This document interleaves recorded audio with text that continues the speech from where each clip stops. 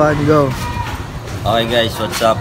So today, ah mag-aayos tayo ng ah, baradong ah, radiator kasi ah chinek natin okay naman yung ah, cylinder head gasket, yung ah, thermostat, yung water pump okay naman lahat. So pati yung mga hose chinek natin okay na.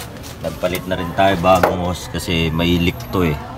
So isa na lang ang problema, barado yung ah, radiator. So ito ah, gagawin natin yung ah, mga DIY do it yourself. So take your own risk sa paggawa nito. So kailangan natin ito pag ah, lilinis ng uh, ng radiator, baking soda at saka suka, sama mo na rin ng cobra ng aqua.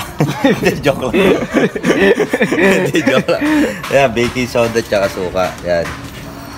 So, ito para tipid tips lang no kung ah, nagtitipid ka tapos ayaw mo na maabala pumunta pa sa yung ah, ah, palinisan ng ah, radiator. Ito gawin mo to mag-isa.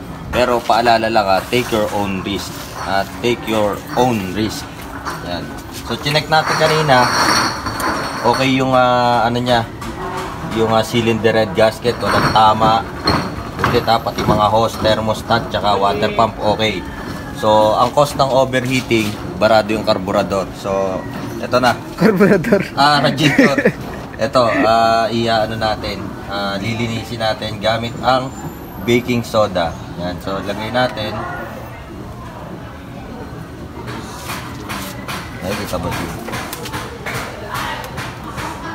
Yan, so medyo pangit yung positioning nitong ano eh, nitong tawag dito, radiator eh. Natin matunaw yung baking soda.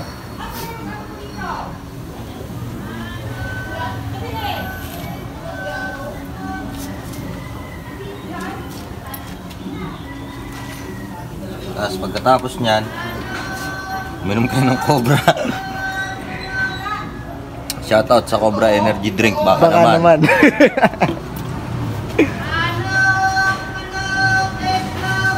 Ito na ang mga ginagawa natin guys pagka wala tayong ah, trabaho.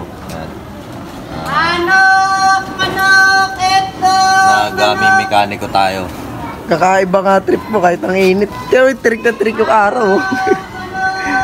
Papayong pa kami dalawa dyan.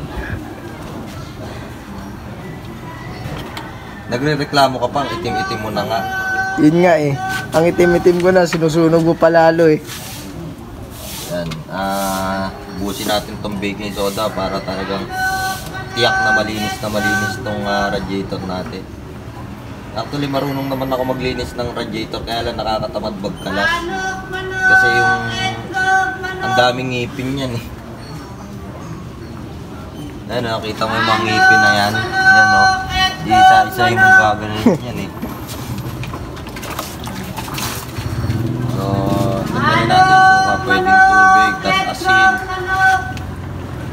Para pag mag-penetrate sa loob, kawakan natin yung hose.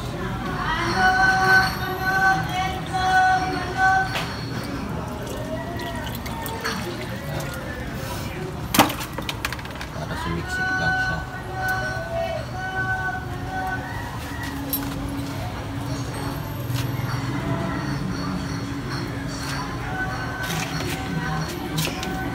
Yan guys. Tiyak na tiyak. Pagka pinaandar mo yan, ang bilis niyan. Kaya lang patalikod. Patras yung Patras yung takbo. takbo. Ganyan kami dito sa David Works. Nag-ooperate kami since 2012 pa. Ba? Project car natin si Luigi. Oh.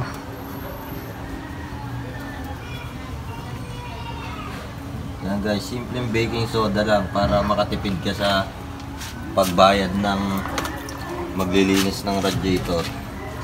So, abala pa yung oras tapos lalo ngayon lockdown. Ikaw na lang mag-isa gumawa. Tipid pa, ano? O kung tinatamad ka, pwede mo naman kami tawagan. Murang-mura na yung labor, may kasama pang halik. Yan guys. So, ikakat muna natin, tapos titignan natin mamaya.